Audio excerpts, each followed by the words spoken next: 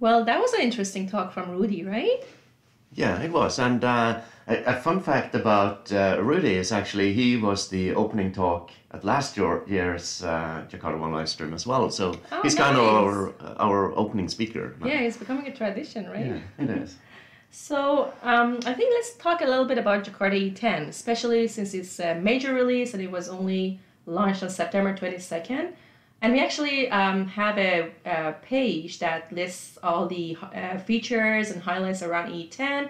And then also you can see the list of the updated specifications on that page. It's on our website.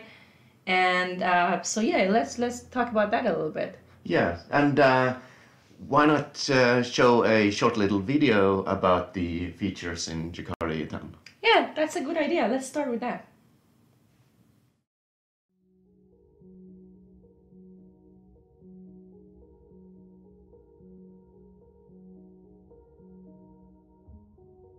Jakarta EE10 includes new features for building modernized, simplified, and lightweight cloud-native Java applications. This community-driven innovation release is designed for organizations looking to start developing new or advancing existing enterprise Java applications. Modernized. The Jakarta EE10 release provides new functionality in over 20 component specifications. This release enables builders of modern cloud-native Java applications to develop and deploy Jakarta EE10 applications on Java SE 11 as well as Java SE 17. This allows developers to take full advantage of new features, including the modular system introduced in Java SE 9 and supported in Java SE 11. Simplified. With Jakarta EE10, application development is made simpler by supporting the broader use of additional annotations and taking better advantage of the module system. This makes it easier to build modularized applications and offers improved integration across component API. Jakarta EE10 helps developers more easily implement applications with modern security requirements, remove deprecated APIs, and maintain high levels of compatibility with prior Jakarta EE releases. Lightweight. Jakarta EE10 defines a new profile specification with Jakarta EE Core Profile 10. The Core Profile enables the development of lightweight and modernized Java applications. The new Core Profile provides a subset of Jakarta EE specifications that target smaller runtimes suitable for microservices development. This includes an innovative new CDI Lite specification for building lightweight Jakarta EE applications.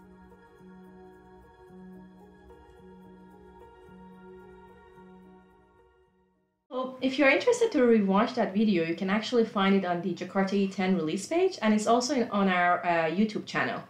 Uh, but uh, Ivar, what do you think is the most interesting feature and highlight of the Jakarta EE10 release? Oh, that's a tough question. It's so many features, you know. And uh, what uh, Rudy introduced the core profile, which is obviously the, the major thing of, of Jakarta EE10.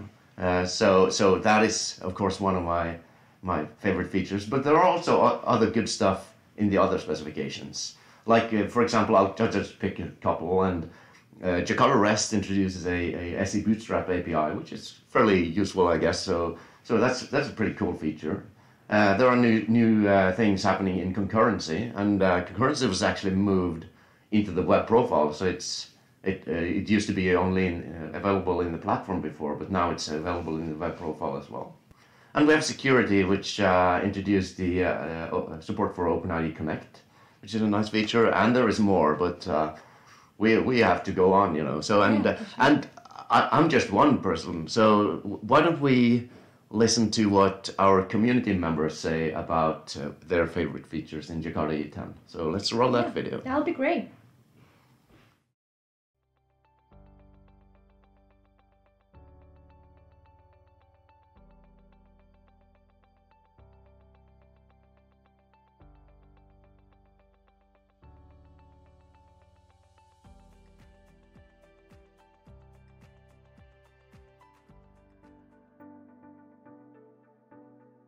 For this particular release, I'm pretty excited and looking forward to using it and trying a lot of the new capabilities that will be out there.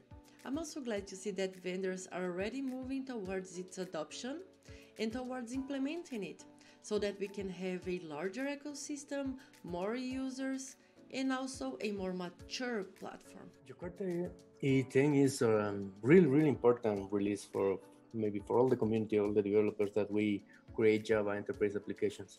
The last uh, version is that we moved the the package namespace from Javax to to Jakarta and uh, since uh, this happened, is is a lot of work of the vendors to create the new containers or, or servers that are going to run the new specifications.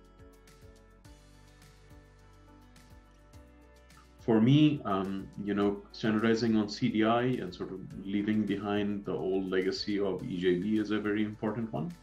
So from that perspective, I would say that some of the changes in uh, things like uh, the Jakarta concurrency API, so things like the at asynchronous annotation um, that allows you to further, you know, sort of not need to use EJB anymore. We've had uh, at transactional in JTA since uh, EE8, and now, you know, now that we have things like at asynchronous, I'm hoping that more and more of those EJB-like features uh, move into the component specifications. One of the favorite uh, new features uh, within Jakarta EE10 is uh, the core profile, uh, which is uh, yeah a base of core specifications that are intended to be also the core of microprofile, for example. Specifically in Japan market, it's my country it seems that uh, more conservative opinions, opinions are majority and preferable, maybe around two years or even more. Jakarta EE, for example, the lightweight core profile. Core profile is a new profile for Jakarta EE 10, which uh, basically is kind of enable uh, more implementations certify against uh, some uh, like a lighter version of the profile.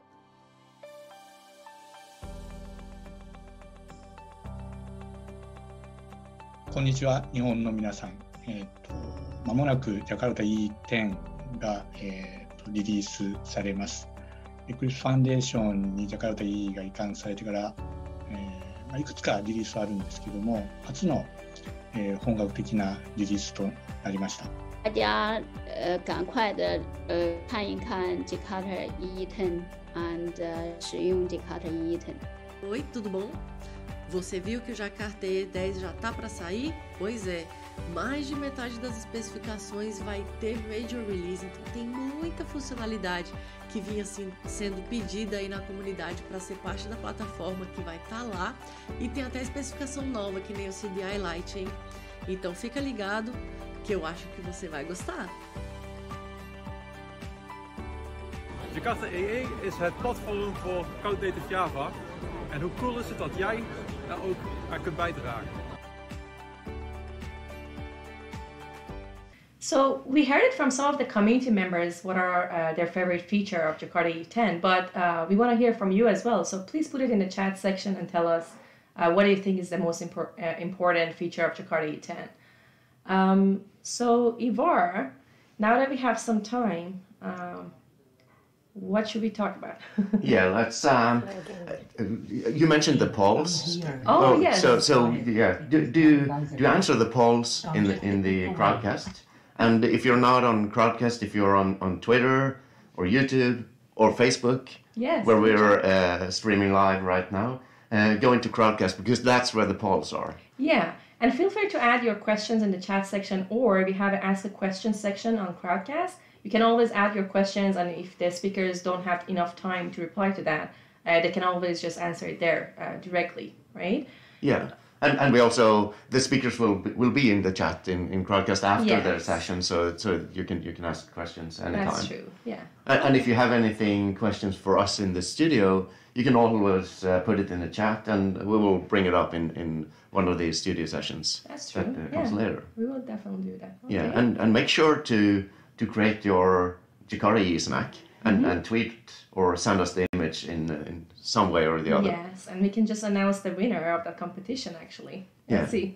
And and I see there are some out there, but uh, they're mostly coming from Tanya. She, she's back here uh, creating snacks for us now. So maybe As we speak. yeah, maybe we, in some of the studio session we will eat the snack as well. Yeah, true. Yeah. Yeah. we're going to enjoy those. Yeah. Okay. So yeah, and um, uh, the the uh, w- when we talk about Jakarta and we talk about enterprise Java, and uh, you usually come into the term about cloud native Java as well. Right. and and that is a term that is so easily to to uh, misunderstand or uh, everybody has a different interpretation about it so Right. yeah so uh, Shabna, what's your take on cloud native Well, java Actually, I might have a misunderstanding, so let's l- listen to the next talk uh, from Rustam and Anna Maria and, and basically um, see if we can have a better understanding. Their talk is about actually misunderstanding cloud native Java, so why not listen to that? yeah that's a good idea Yeah. Perfect.